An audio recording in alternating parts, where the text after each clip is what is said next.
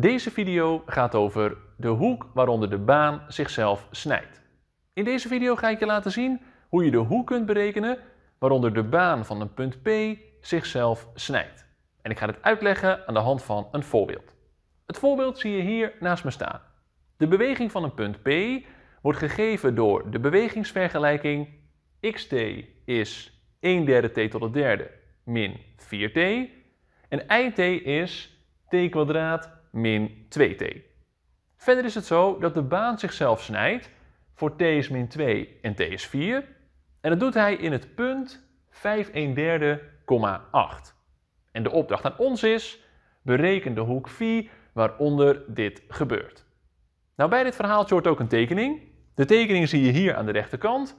Je ziet daar de baan van het punt P en je ziet dat die baan zichzelf inderdaad snijdt. Dat doet hij dus in dit punt.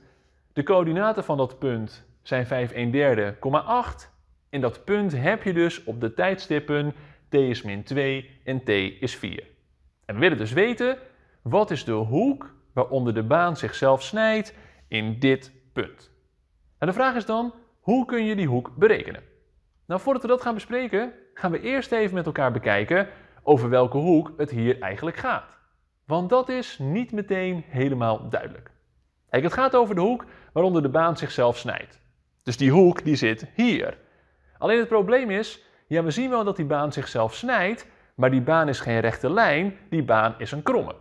En we hebben niet met elkaar geleerd hoe je de hoek tussen twee krommen kunt berekenen. We hebben wel met elkaar geleerd hoe je de hoek tussen twee snijdende lijnen kunt berekenen.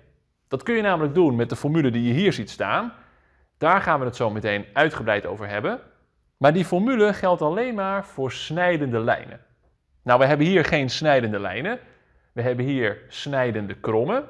Maar wat we eigenlijk eerst moeten doen, is dus van die krommen, dus van die baan, snijdende lijnen maken. En hoe kun je dat doen? Nou, dat kun je doen door gebruik te maken van raaklijnen. Dus we gaan hier in dat snijpunt twee raaklijnen tekenen.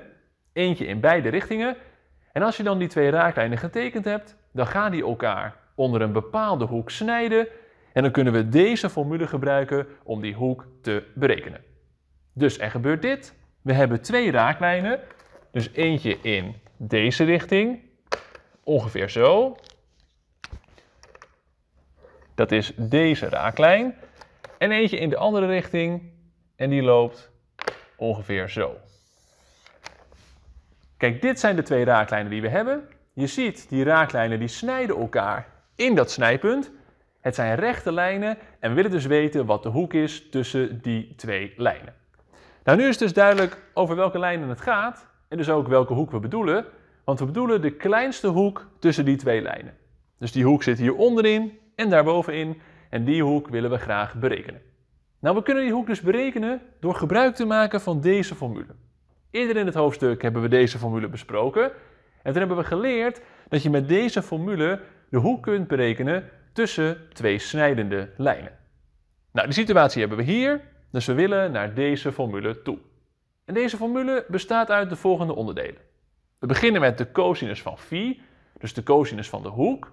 En die is gelijk aan tussen absoluutstrepen de richtingsvector van de ene lijn, die noemen we k, keer de richtingsvector van de andere lijn, die noemen we L, gedeeld door tussen absoluutstrepen de richtingsvector van k, keer tussen absoluutstrepen de richtingsvector van L. Dus het gaat hier over twee lijnen, k en L. Dat zijn dus de lijnen in de tekening. Dus de ene noemen we even k en die ander noemen we even L. En we hebben dus van die twee lijnen de richtingsvectoren nodig. Want als we de richtingsvectoren weten, dan kunnen we de formule invullen en dan kunnen we de hoek phi berekenen. De vraag is dus eigenlijk, hoe weet je nu de richtingsvectoren van k en l? Nou, een richtingsvector kun je berekenen met het begrip snelheidsvector. Eerder hebben we het gehad over de snelheidsvector. De snelheidsvector die krijg je door van de x en de y de afgeleide te nemen. En met die snelheidsvector kun je de richtingsvector van k en l berekenen door de tijdstippen in te vullen. Dus we gaan nu eerst bepalen wat de snelheidsvector is. Dan gaan we de tijdstippen invullen en dan weten we de richtingsvectoren van k en l. Je krijgt dan het volgende. We gaan eerst eventjes de snelheidsvector bepalen. Dus we noteren, we doen de vector vt. En als je vt wil bepalen, dan moet je zowel van de x als van de y de afgeleide nemen. Dat gaan we ook even opschrijven. Dus dan doen we x-accent t aan de bovenkant en y-accent t aan de onderkant. En als je dat wilt doen, dan moet je dus in de bewegingsvergelijking de x en de y differentiëren. Nou, als je de x differentieert, dan wordt dit t kwadraat min 4. En als je de y differentieert, dan krijg je hier 2t min 2. Dan krijg je dus dit. Het wordt aan de bovenkant t kwadraat min 4 en aan de onderkant 2t min 2. Nou, je ziet nu dat het gelukt is om de snelheidsvector te bepalen. En nu gaan we de snelheidsvector bepalen voor k en voor l. Dus eigenlijk zijn dat dan van k en l de richtingsvectoren.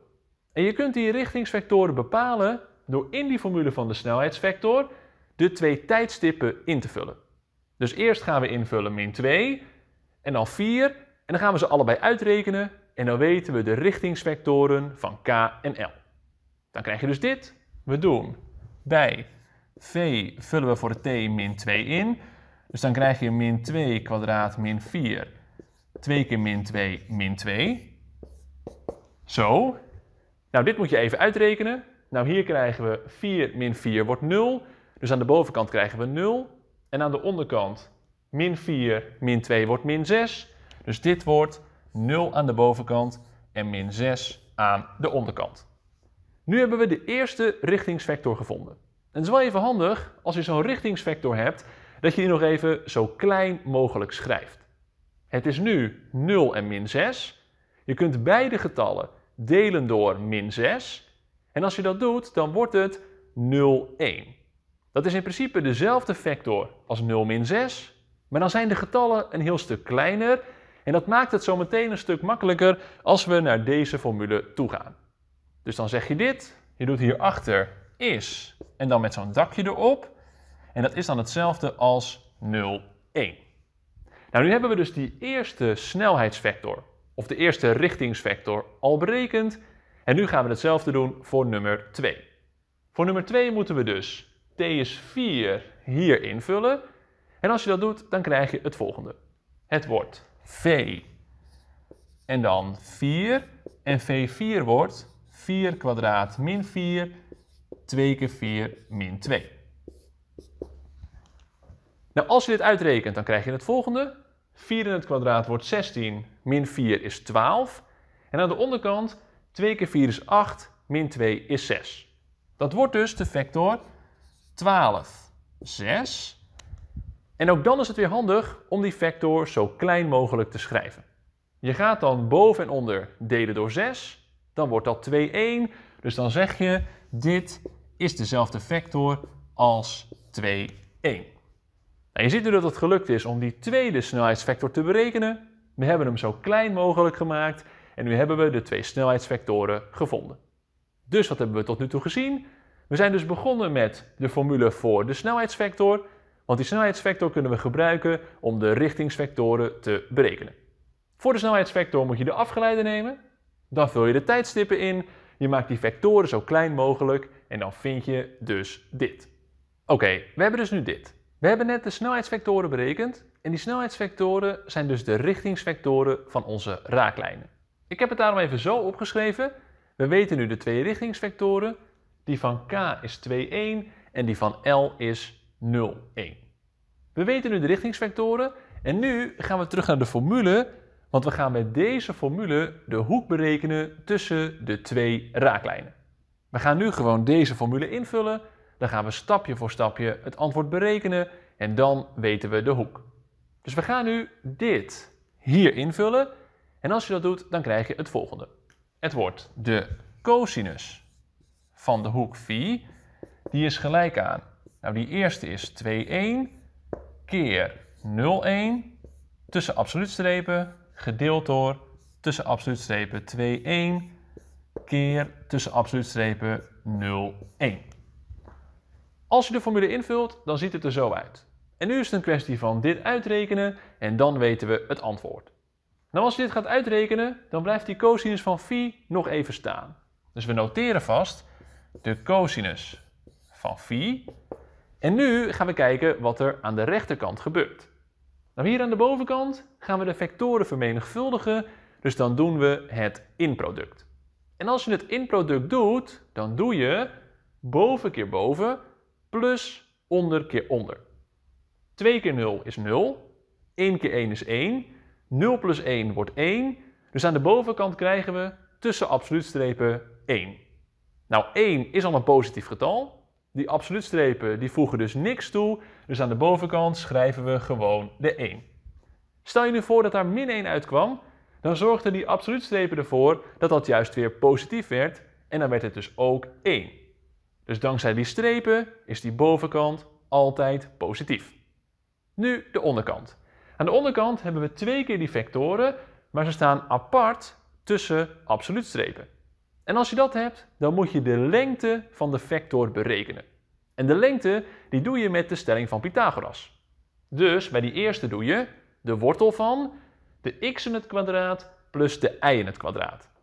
Nou, de x in het kwadraat, 2 kwadraat is 4, 1 kwadraat is 1, 4 plus 1 is 5, dus dit wordt de wortel van 5. Daar krijgen we dus de wortel van 5. En nu gaan we hetzelfde doen bij die ander. Nou, bij die ander hebben we 0 kwadraat is 0, 1 kwadraat is 1, 0 plus 1 is 1, de wortel van 1 is 1, dus dan krijgen we de wortel van 5 keer 1. Nou, wortel 5 keer 1 is gewoon wortel 5. Die keer 1 hoef ik niet op te schrijven, dus dan houden we dit over. We krijgen dus de cosinus van phi is 1 gedeeld door wortel 5. En nu willen we graag phi berekenen.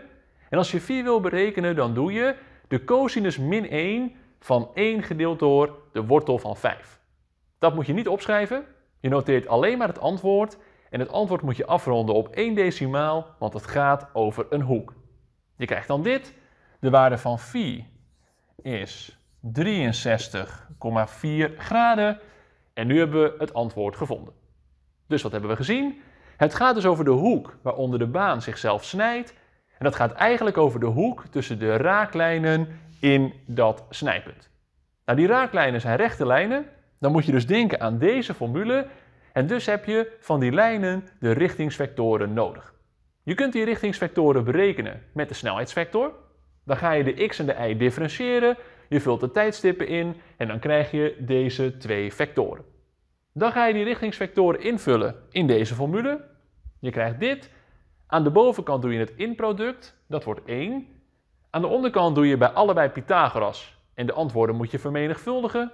Dan vind je de wortel van 5. Dan doe je de cosinus min 1 van wat hier staat. Dat mag je niet noteren. Je zegt gewoon dit. Het antwoord is, de hoek is 63,4 graden. En op deze manier kun je dus de hoek berekenen waaronder de baan zichzelf snijdt. Vond je dit nu een handige video? Abonneer dan even op mijn kanaal. En klik even hier voor alle andere video's over dit hoofdstuk. En dan zie ik je graag snel weer terug bij de volgende video van Math with Menno.